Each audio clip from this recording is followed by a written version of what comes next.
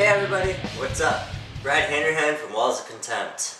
Um, this is our this is my first video blog, um, one of many, and uh, you know I just wanted to give you guys some updates. Like uh, next Friday, Walls of Contempt is sitting in studio, uh, looking to get out our uh, first self-titled EP.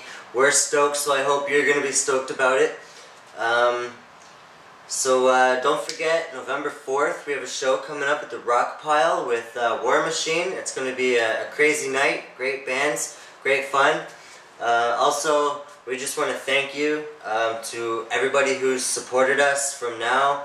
Um, you've been there since the beginning, and I know you'll always be there as long as we're playing some kick-ass metal for you guys. Um, so don't forget, November 4th, um, and hopefully by the end of winter um, our self-titled EP Walls of Contempt will be out in your hands. So watch out for it and keep on rocking guys. Later.